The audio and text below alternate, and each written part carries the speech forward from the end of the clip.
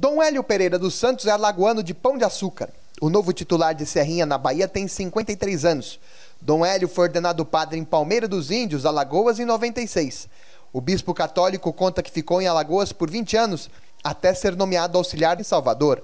Dom Hélio Pereira dos Santos foi nomeado bispo coadjutor de Serrinha, na Bahia, há exatos um mês e 20 dias. Um tempo muito curto da nomeação como coadjutor para o dia de hoje, para esta quarta-feira, em que foi nomeado titular de Serrinha pelo Papa Francisco, sucedendo ao bispo italiano Dom Otorino Assolari, que era o titular de Serrinha. Ele já tinha também eh, feito o pedido de um bispo coadjutor há aproximadamente um ano já. Ele precisa também cuidar, eh, se dedicar mais ao cuidado da saúde também mas a aceitação foi principalmente pelo tempo de já ter completado os 75 anos e porque eu já estava aqui como coadjutor. Dom Torino retorna, ele vai morar na congregação da Sagrada Família, na casa sede lá na, na Itália.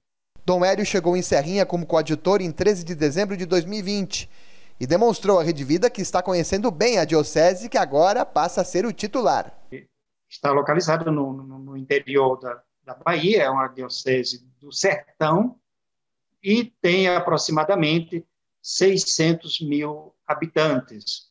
Nós estamos com 23 paróquias, três áreas pastorais, são 30 padres diocesanos e 11 padres religiosos. Temos também é, alguns diáconos, são nove diáconos, diáconos permanentes, e temos o nosso seminário em Feira de Santana, na região de Feira de Santana.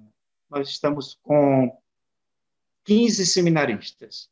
Dom Hélio informou que foi avisado ontem pelo novo núncio no Brasil, Dom Jean Batista, que seria o titular de Serrinha. Ontem eu recebi o comunicado da anunciatura dizendo que hoje seria publicado é, o anúncio da aceitação de, do, da renúncia de Dom Torino e que imediatamente eu já tomaria posse é, do ofício de bispo diocesano.